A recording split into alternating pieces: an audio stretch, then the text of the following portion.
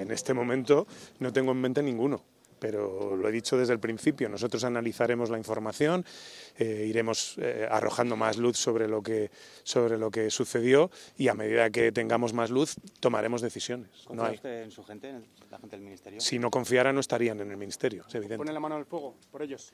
No, ya he dicho muchas veces que yo en el, en el fuego solo pongo la mano por mí, nada más.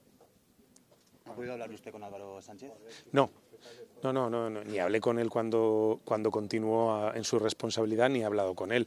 Es un cese que, se realiza en el marco de, las competencias que tiene Puertos del Estado, en el Consejo Rector hoy, y, ha sido el presidente de Puertos del Estado el que le ha trasladado la decisión. Que el, cese que se produce hoy no tiene nada que ver con la auditoría, como saben ustedes, eh, porque es una información que ha trascendido.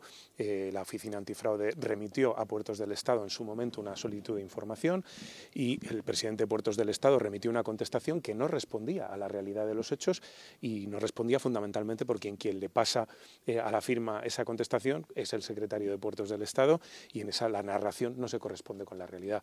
Dejo esto claro también para dejar claro que nosotros no prejuzgamos lo que, la implicación que pueda tener, porque he leído que sí se le ha cesado porque ha participado en la contratación. No, se le ha cesado muy concretamente porque en esa respuesta a la Oficina Antifraude no se es eh, honesto con, la, con los hechos que han sucedido y en el momento en el que he tenido conocimiento de eso hemos procedido al cese. Pero, insisto, no prejuzgamos ni, ni, decimos que este señor tenga una relación con la contratación que le haga responsable o culpable de nada, pero sí, eh, a, nuestro juicio, ha tenido un comportamiento que nos ha hecho perder la confianza y, por eso lo hemos cesado. Con toda transparencia lo explico.